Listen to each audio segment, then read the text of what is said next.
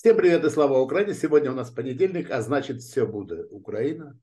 Хорошо знакомым и любимым вами Романом Цымбалюхом. Приветствую. Очень рад. Здравствуйте, Здравствуйте Гела, Сакартвелос, до Украины, Гаумардос.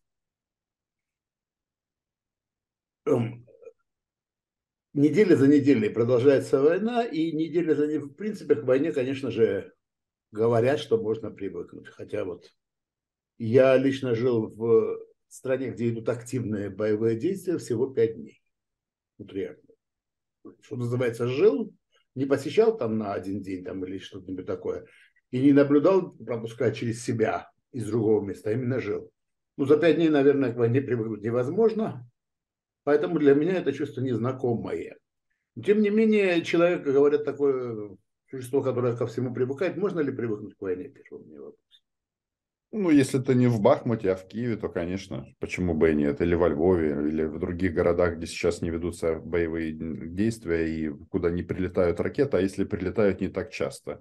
Ну, психика человека, она такая адаптивная. И вообще вот этот вопрос, вы который поставили, у нас же тут постоянно дискуссия ведется. Можно ли ходить в Киеве в рестораны, в то время, когда э, фигачат артиллерии там нон-стоп по городам на востоке Украины. Я думаю, что одно другого не исключает, потому что жизнь, она, она такова. И никуда ты от этого не денешься. Просто а, не надо забываться, что происходит. А, надо платить налоги и помогать вооруженным силам Украины. Ну, ну и все, наверное. Но рутина, даже такая военная, она абсолютно возможна. И, и люди привыкают и к войне, и к смерти, и к тревоге постоянной. Ничего с этим не сделаешь. Ну, такие адаптивные мы. Слишком это, это американцы говорят в таких ситуациях, flexible, да. Сегодня была и тревога тоже. Э, шахеды позбивали в над Киевской области. Ни один шахет не пролетел, что, в общем-то, радует, что, в общем-то, говорит о том, что не только к войне человек привыкает, но и профессионалы э, все лучше и лучше делают свою работу, хотя это не гарантия того, что ни, ни один шахет больше не упадет на Киев. Тем не менее, мы видим, что качество ПВО, качество значит, защиты, оно ну, растет, и это, в принципе, радует. Хотя это Гел, э, я вот даже, я даже не слышал еще этой новости, что что-то тут летало, но вопрос тут в чем? Что э, в военном деле, как и в любом деле, нужно стремиться к опции э, такой технологии, технологичной работы. Потому что э, вот у нас же так э, любят э, героев посмертно награждать. Так вот, э, герои посмертно, они как раз и возникают в ситуации, когда технология не работает. Вот у нас, знаете, вот была история, она, она жуткая, как и очень много других жутких историй во время войны, когда э, российские оккупанты обнародовали видео, как они расстреливают парня со словами «Слава Украине». И у нас тут э, тоже началась такая дискуссия на тему, вот как он герой, что этот герой, ему, конечно, понятно, что такие вещи, они награждаются медалями и орденами, и он, парня была фамилия Мациевский. А, но в чем нюанс?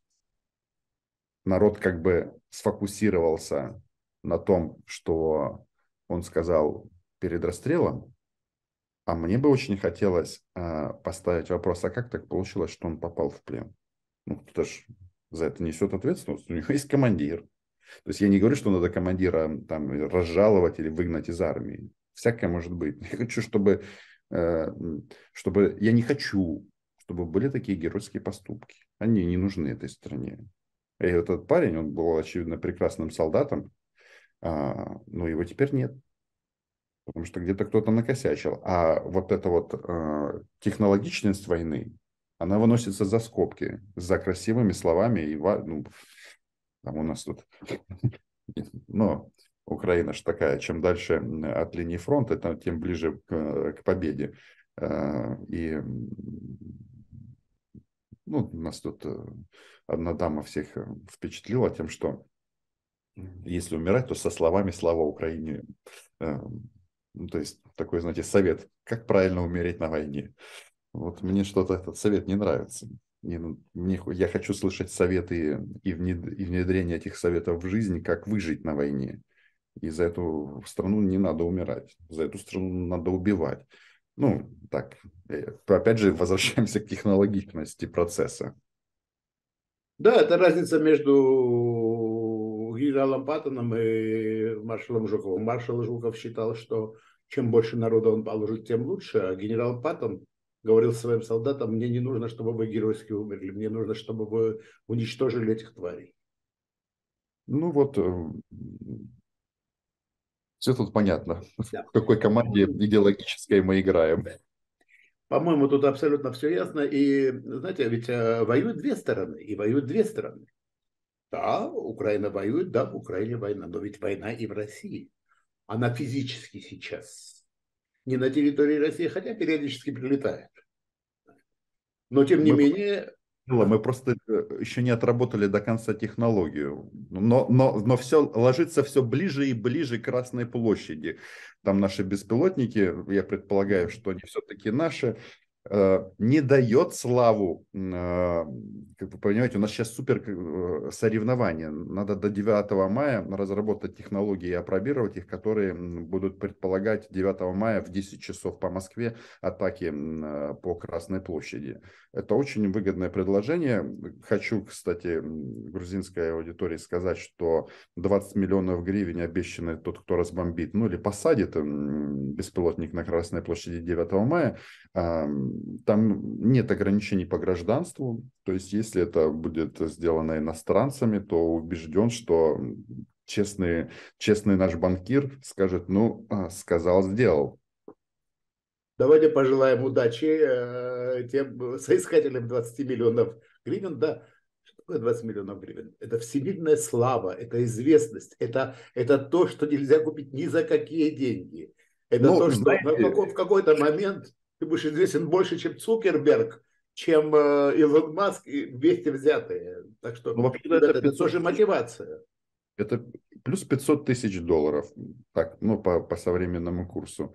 Как это? Это, это? это просто приятное дополнение по сравнению с тем, что человек говорит, так что дерзайте, ребята. Я, к сожалению, не технарь. Говорила мне мама, учи в школе математику. Вот учился бы я бы лучше бы в школе. Я имею в виду, ну, я и так закончил математический класс, но увлекался бы я исключительно математикой, может быть, у меня бы и получилось. Но сейчас без вариантов. Я и не буду пытаться, даже не буду пробовать, но... Но если, если люди достигнут успеха, мы... Мы очень порадуемся за них, и мы очень порадуемся вместе с ними, и мы будем считать, что в этой победе есть маленький-маленький, даже не кирпичик такой, мазок этим э, штукатуркой в это здание Победы наш. А, ну что ж, а, и все-таки они тоже воюющая страна. И я понимаю прекрасно, что там а, воспринимается война по-другому, но есть люди, граждане России, которые, а, против войны, и вот среди вот этих граждан России, которые против войны, по-разному против войны, есть люди действия есть люди, которые считают, что раз мы против войны, значит, мы должны воевать. Вот э, те, кто воевать на стороне Украины, воевать за ту Россию, которую они хотели бы видеть и которую они хотели бы строить уже без этой я не, не люблю ругаться, но, в общем-то, без банды вот этих тварей, которые сейчас засели во всех органах власти России, давайте прямо скажем. Ну вот я действительно рад и горд тем, что один из э, известных таких людей, это мой близкий друг Денис Соколов, который мы с вами говорили несколько месяцев назад. В общем-то, абсолютно безнадежное дело он затеял, когда призвал тех граждан России, которые хотят воевать за Россию, воевать на стороне Украины. Ну вот сегодня уже да, гражданский совет, организация которого один из лидеров, который является Денис Соколов, э, приходят люди, и факт то, что ну, ребята воюют даже несколько громких операций. Было с ними, кстати, ГУР признал ВСУ сказала, мы не знаем, а сказал, да, да, это наши. В Брянской области, я имею в виду. Но интересный парадокс получается. В основном воюют за, с российской стороны за Украину или крайне правые русские, сам здесь не крайне правые, или же мусульмане, граждане России. Не задумывались, почему так? Там, видите, это же все история сложнее. Вопрос в том, что кто с чего хочет в жизни. Например, российские либералы в своей массе, они, чем они недовольны? А, они недовольны тем, что не они сажают, а их сажают а они хотели бы, чтобы э, было как мы здесь власть, и они э, вершили судьбы людей. И вот эта вот часть, э, как, которую частенько раньше называли хорошие русские, у них же такая позиция, ну мы, мы против своей страны нет, нет, ну, донатить на армию Украины или, или помогать Украине тоже нет. А, люди, о которых вы, вы сказали, ну, мне кажется, во-первых, это порядочные люди, во-вторых, это люди действия. И тут э, я не готов, если честно, их как-то э, сепарировать в части там их политических взглядов или веры, потому что не, не это является определяющим. Э, кстати, если мы говорим о правом э, в этом векторе российском, там же есть те, которые так, так называемые имперцы, которые воюют против Украины, и для них убить человека э, по факту его гражданства – это милое дело, потому что, как они говорят, украинцы – это испорченные русские и так далее. Тоже, пожалуйста, ну, фаш, по сути фашисты. Там это какой-то Мельников или забыл, как это, Мудака из Санкт-Петербурга зовут. Ну, чисто на нации. Ну, пожалуйста, герой российских телеканалов, он э, интервью раздает, там, ну, все его, все, всем нравится. Тоже вот правый. Поэтому... Не, но а, вообще правый, левый это достаточно... Да. Русские националисты, скажу так, причем националисты в, в прямом смысле. И националисты это те, которые совсем не имперцы. Националист не может быть имперцем, по идее. Ну, послушайте, логика в этом на самом-то деле есть. Вот то, что происходит э, с российским государством за этот год и несколько месяцев войны, что изменилось? Положение русских вот именно как национальности, не россиян как граждан Российской Федерации, а именно русских. Это все, опция все сужается, сужается, их массово отправляют на убой. Вот в конце прошлой недели Дмитрий Медведев даже проводил совещание о контрактной службе в Центральном федеральном округе. Это как раз э, та часть России, где живут э, этнические русские в основном. Ну, понятно, что э, там люди, а, не, не, границ таких нету, но по факту большинство все равно русские. И вот их вот на, на бойню, на бойню, на бойню. А, ради чего? Ради того, чтобы потом а, заместить население, например, в Мариуполе. То есть я ничего не имею против э, ребят, которые приехали работать э, из Таджикистана и других стран, или Узбекистана в Россию, а потом их отправили в Мариуполь украинский. Э, я не имею ничего против их э, гражданства, национальности, религии. Это вообще да. не касается. Мне, ну, просто вопрос э, в чем? Что, а, ну, попахивает это таким путинским идиотизмом, все, что делает он. То есть они, а, местное население, которое состояло из русскоязычных, а, людей, которые ну, объективно к э, не российской, а русской культуре были значительно ближе, их убили и привезли других. Ну что это такое?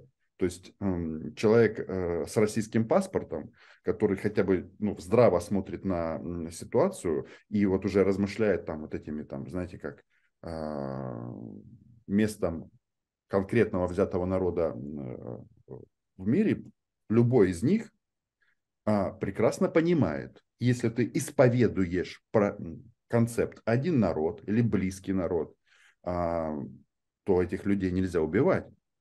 И замещать их, соответственно, представителями других народов. Ну, то есть я не люблю этот э, такой спор, потому что оно, знаете, получается, какой народ лучше или какой хуже. Это не об этом. Ну, факт остается фактом, что жили в Мариуполе русскоязычные, и русскоязычных стало в два раза меньше. И появились другие языки э, вследствие защиты русских или русскоязычных. Русского языка.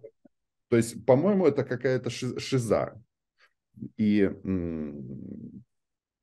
то есть я просто хочу подчеркнуть, что вот я вот помню, мы когда-то с вами а, Азербайджан а,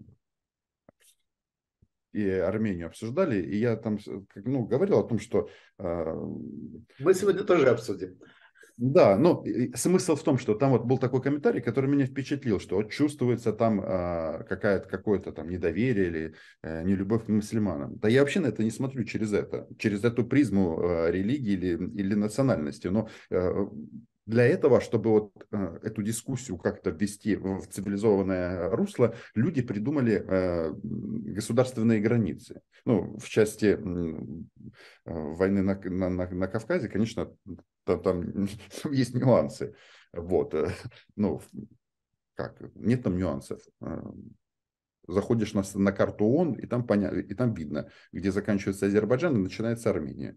И, кстати, э, ну, все очень понятно. То есть, возвращаемся к этим э, людям действия, которые, кто воюет на, Пассионарии. на Пассионарии, ну, давайте смотреть на эту ситуацию не через э, националисты и мусульмане, а через другую призму.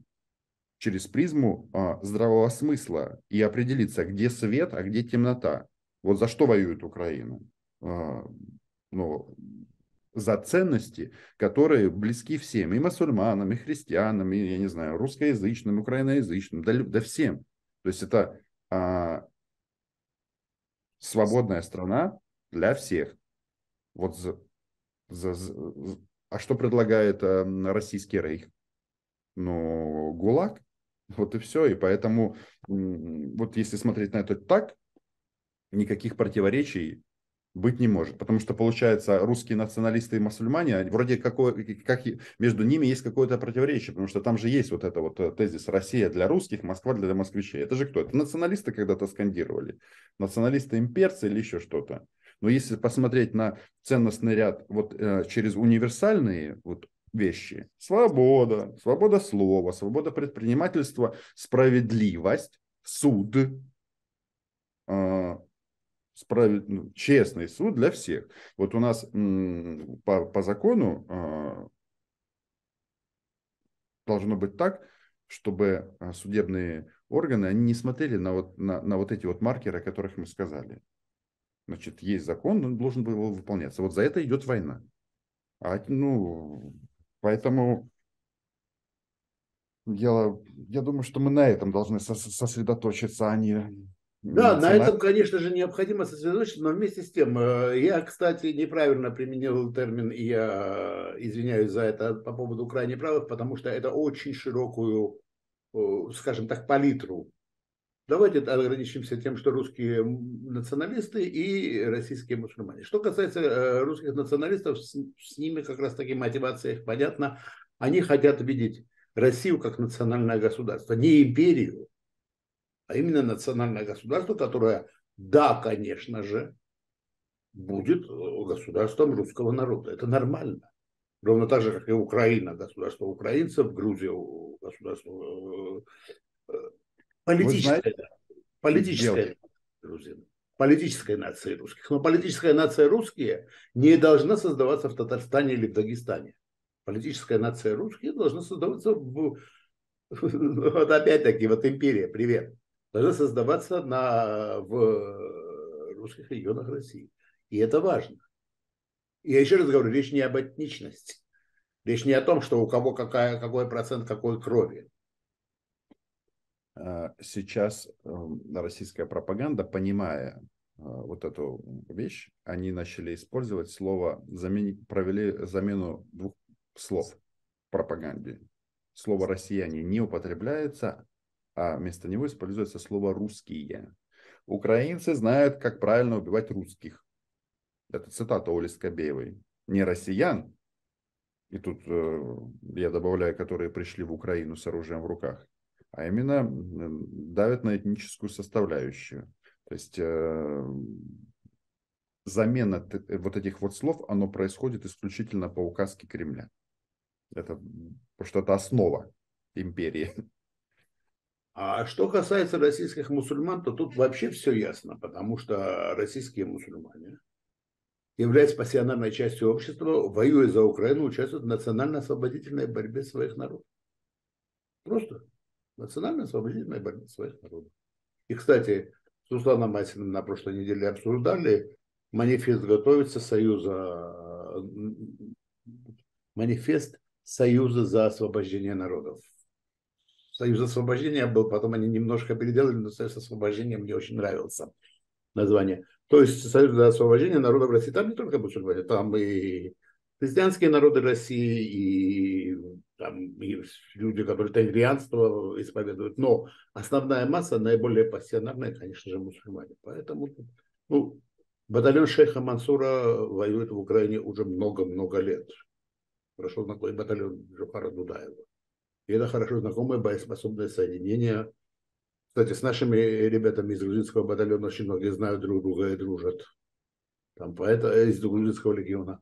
Э, так что, так что тут, э, я думаю, тут же речь о политической составляющей этого всего. Эти люди потом будут костяком, в общем-то, своих национальных государств, и не дадут перехватить э, политическую повестку, я в этом абсолютно уверен, проходимцам. Я надеюсь на это.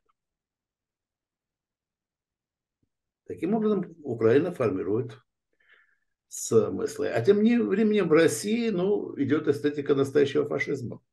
Победительным шагом идет эстетика настоящего фашизма. Беспримесного имперского фашизма.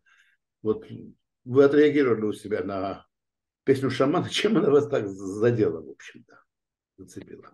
Ну, вы знаете, э, во-первых, э, этот же парень, он сейчас самый высокопоставленный певец вот этого фашистского российского режима. Меня просто удивляет, как, допустим, а, в Дагестане или в Татарстане детей заставляют петь «Я русский». Вот это его фашистская песня «Я иду до конца», «Я русский всем, а, всему миру на зло». Ну, чисто вот, вот это воспевание а, вот этого уберменшинства в, в самом таком отвратительном виде. Просто а, он же свой этот новый клип а, снял в очень интересном антураже. Я думаю, что вот если взять, допустим, страны, которые не привлечены, э, не вовлечены в эту войну, допустим, страны Латинской Америки, и просто взять фотографии ребят из Гитлера-Югента, костюм шамана с этой повязкой, и задать вопрос, кто взять, например, парней в вышиванках, еще каких-то там других, и сделать такой тест. А, укажите, кто здесь больше похож на нациста. И Шашаван 100% э, здесь победит. А если человек похож на нациста, с большой вероятностью он и есть нацистом, а, как и все российское государство.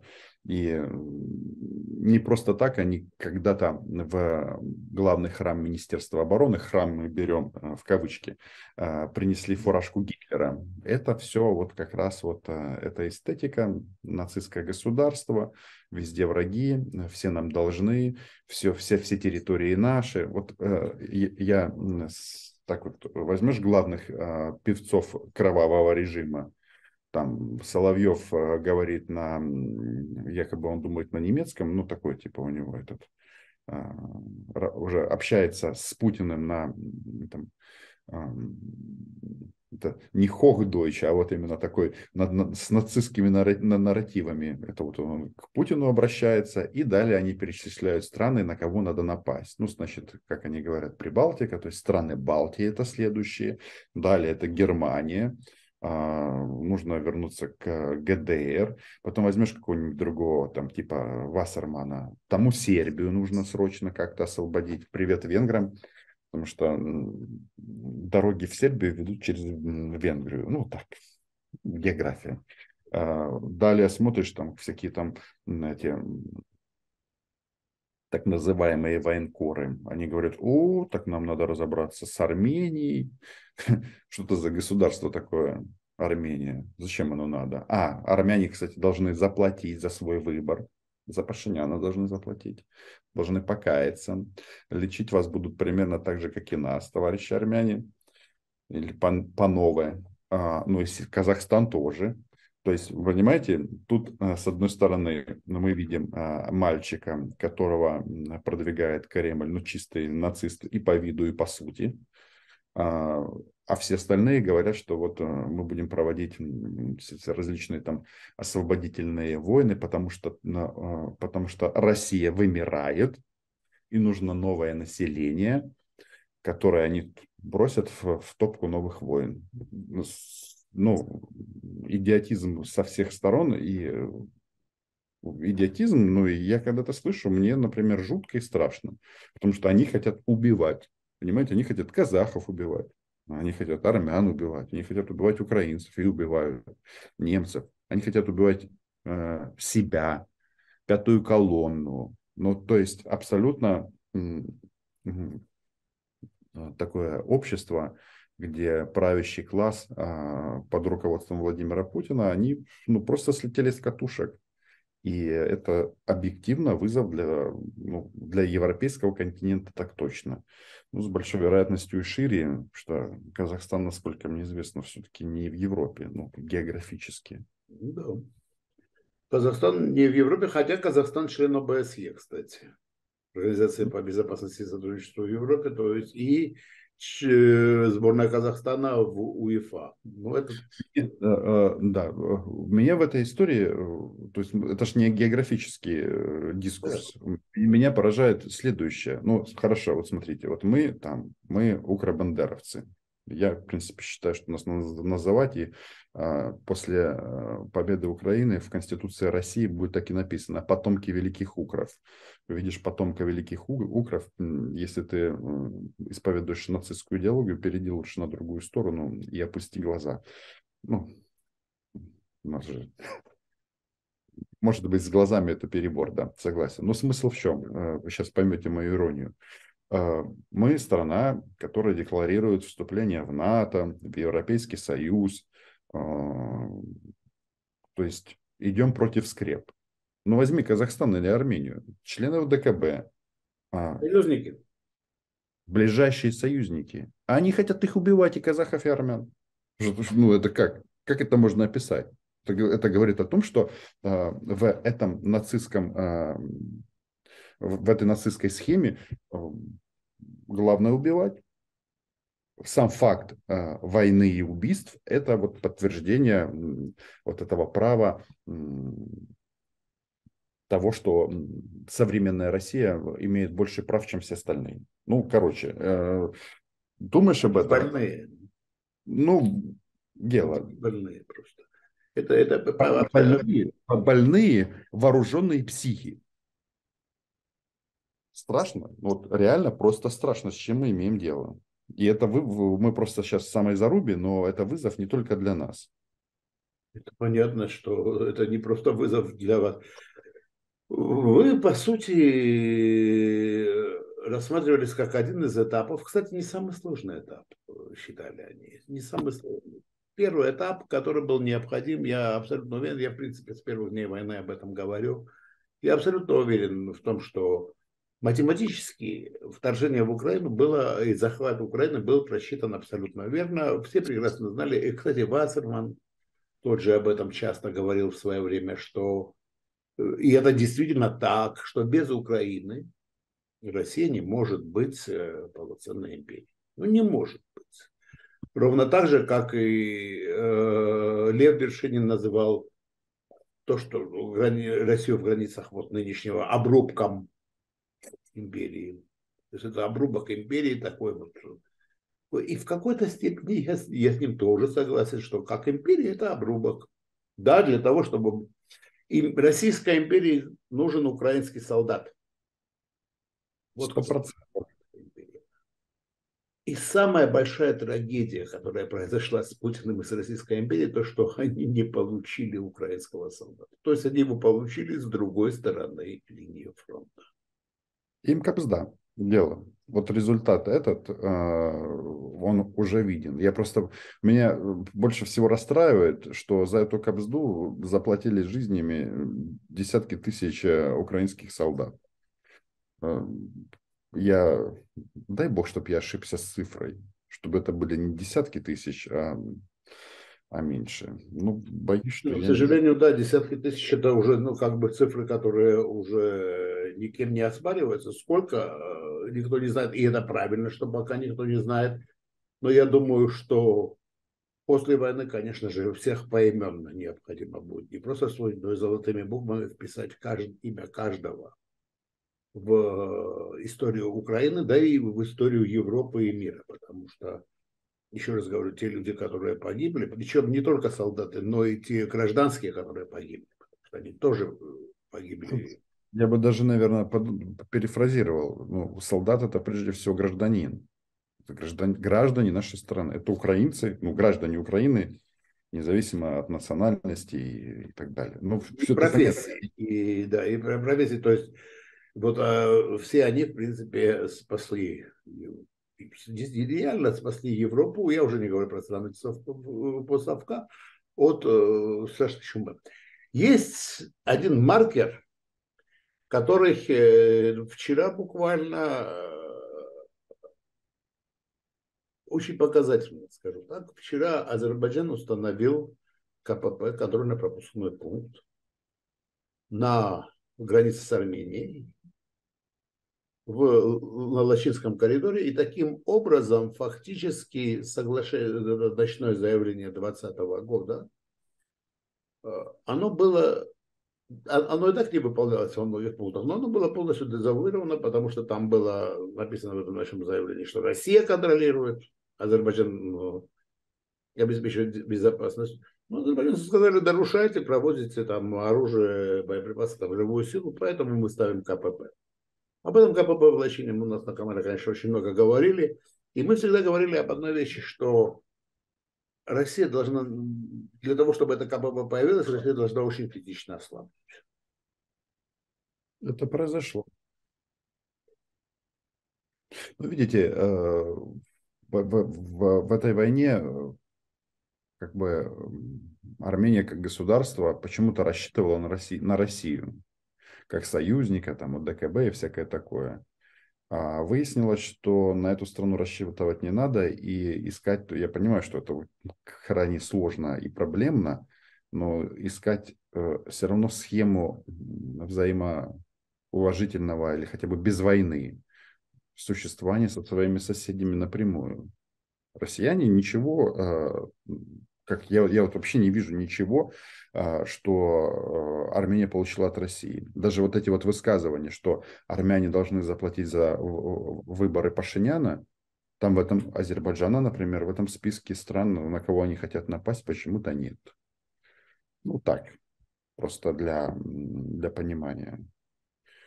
Ну, нет, ну, понятно, э, понятно в данном случае, что почему нет Азербайджана? Потому что, ну, сил во-первых, себе дороже. Во-вторых, э, ну, России реально сейчас очень нужен Азербайджан как э, для логистики с Ближним Востоком, с новыми торговыми партнерами, потому что Европа-то для России закрылась. То есть Путин заколотил окно в Европу, фордочку в Европу. А, ан- анти-Петр Первый. Да, он оказался абсолютно анти Петром Первым, то есть э, то, что он сделал, я люблю это вспоминать. Бжезинский в своей книге, кстати, «Великая шахматная доска», очень интересная книга, на которой мы, в принципе, выросли, хотя выросли, что она появилась в 96 году, 96 или 97 год, я сейчас не помню, то есть уже был достаточно зрелым человеком, на котором мы все читали и читали с карандашом, там прямо говорит о том, что в интересах Соединенных Штатов выгодно, чтобы Россия не вмешивалась в э, эти в европейские дела и стала, если, если она и будет империей, пускай будет азиатская империя. Ключевая страна тут. Ну, что бы вы думали? Конечно же, Украина. Конечно же, Украина. Да. Это... Нужно дело, давайте просто проговорим что все это достигнуто уже, война продолжается, а все это достигнуто, все цели Бзежинского, которого они так э, не любят, благодаря политике Владимира Путина. Потому что Бзежинский, он все-таки, э, э, скажем так, теоретик, а Путин практик. И это он сделал. Это все сделал он. Ну и попутно убил десятки тысяч людей с двух сторон. Кроме всего прочего, пан Збышек был поляком, а поляк, ну, наверное, сегодня уже разве что украинец знает лучше, что такое Российская империя, что такое российская имперскость. Но вот, до, вот в те времена именно поляк лучше всех знал, что такое Российская империя. И лучше всех понимал это, потому что даже в Грузии, я уже не говорю про Украину и другие, ну, в Балтии еще понимали, были, были еще какие-то иллюзии по этому поводу иллюзий нет. А... Дело. В Украине это понимали меньше, потому что после э, создания Советского Союза а, тех, кто понимал это, их просто убили голодом в 1933 году. Да, И... кроме, кроме, кроме этого, еще очень, очень важный момент. Надо хорошо понимать, что империя, она ведь не этническая империя. И и грузины, и украинцы, и все остальные, несмотря, кстати, на репрессии против целых наций, народов и так далее. Да, мы были составной частью империи. Империя пользовалась э, нашими ресурсами. Я уже не говорю про грузин, там, армян, азербайджанцев, э, казахов, э, конечно же, тоже, но фундамент. Украина, хлеб да. и люди, а что еще нужно? Ну, после этого можно добавить сейчас, потом уже Советского, во времена Советского Союза нефть. Баку. Да. Я вам ваш э, концепт докажу на, на своей судьбе, вот лично на своей. Я вам говорил же когда-то, что в детстве я неплохо говорил по-грузински, потому что э, мы жили в Лагодехе, э, возникает вопрос, как это так получилось, что я этнический украинец без, как это, чисто породистый потомок великих укров, как так получилось? И как так получилось, что я родился в Казахстане? Ну вот вам ответ на, ну вот, вот как это, э, вот это называется э, иллюстрация на практике того, что вы сказали. Когда э, для освоения, а если надо покорения вот этих земель, просто отправляются люди ну, со всеми вытекающими последствиями. Да. И э, кубанцы, которые кубанские казаки, населения Кубани, кстати, которое тоже было уничтожено в основном, большей частью своей. А, они же, и которые сейчас там э, из Кубани наиболее агрессивная часть э, сторонников русского мира и империи, они тоже потомки запорожских казаков. Ну, а если взять современную войну, кто тут э, прославился больше всего? особенно на первом этапе, ну, там, с помощью пиар-технологий, но тем не менее, это были кадыровцы и буряты. То есть к тому, что э, вот всем этим покоренным народам на заметку. Вот э, возьмем, э, есть ли противоречия между Украиной и Бурятией какие-то? Или между Чечней? Я не знаю, возьми у нас любого человека на улице, э, э, ты спросишь, ненавидите ли вы Бурятию? Они скажут, нам не нравятся только танкисты, которые приезжают в рамках российс... Э, в составе российской армии. Ну вот и ответ на... Так я, я больше скажу, когда на канале «Утро февраля» прислали вчера, либеральный российский журналист говорит о том, что чеченцы дорого заплатят за войну в Украине, именно чеченцы, и призывая, и типа того чеченцев будут чуть ли не уничтожать, я, во-первых, думаю, я, э, у меня начинают возникать очень большие вопросы, мягко говоря. Прислал, кстати, мне это, прислал, кстати, мне это видео, прислал, кстати, мне это видео чеченец. Хотела посмотреть на этого клоуна, на этого урода. Заметьте, Гела, люди, которые воюют в составе Украины, никто ничего э, этим народам, этим странам никаких это, знаете, райдер не выдвигает. Вот. Нет у нас, ну, потому что это ценностная война. Вот я так это вижу. Вот Они... именно. И вот э, мы возвращаемся к тому, с чего начали. То есть люди, которые воюют на стороне Украины, граждане России, русские, российские мусульмане, чеченцы, татары, башкиры, э, значит, другие буряты, там, тувинцы, неважно, те, которые воюют на стороне Украины, они никогда не говорят о том, что мы воюем там, против русских и против русских. Мы воюем или против там чего. Мы, они воюют за свою страну, они воюют против империи, правильно? А те, которые, те же, та же российская иммиграция, конечно же, не все, но бывают такие высказывания, которые, честно говоря, от которых у меня волосы становятся, типа того вот, чеченцы виноваты, еще кто-то виноват. Извините, ребят.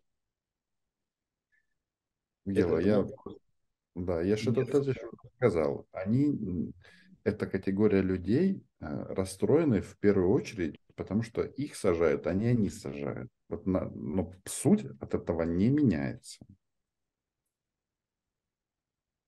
Да, к сожалению, это так. А мы, мы тем временем в ожидании, причем, еще раз говорю, это ожидание я по поводу, у нас остается не так много времени по поводу будущего наступления Украины. Я понимаю нетерпение, я понимаю, что все хотим как можно быстрее и так далее, но я лично за то, чтобы, пускай будет через два месяца, но пускай это будет хорошо подготовлено настолько, чтобы в итоге было, был полный окончательный успех. Я думаю, что вы тоже разделяете эту точку зрения. Сто процентов. Более того, ну, еще раз, у нас э, не бесконечный человеческий ресурс. И техника дорогая, и э, это большие инвестиции. Тут э, вполне возможно, что вот этот вал новостей по поводу контрнаступления сегодня-завтра, это как раз вот, но там же 99% это вообще информационного шума. Возможно, ну, понятно, что воевать придется, но нужно же смотреть вот э, самочувствие там на болотах, то есть в Российской Федерации, и создавать условия, прежде всего, чтобы эта страна занялась собой, сама собой, а не нацеливаться, то есть надо нацеливаться на, на, на две опции, то, то есть решать два, две задачи одновременно. Непосредственно уничтожение российских оккупантов на земле и создание условий, а, о чем я сказал, России, чтобы они занялись собой. Ну, и, и тут торопиться не надо. Потому что как только они занимаются собой, то меньше придется воевать. Ну, как вот оно устроено. Поэтому, если надо выдержать паузу какую-то, то мы это сделаем. Это тоже понятно. Но... Конечно. Однозначно. Однозначно. Ну что ж, э, во-первых, большое, огромное спасибо за очень интересную беседу. Ну и самое главное, верим за свою славу Украине. Героям слава. Спасибо, Гела.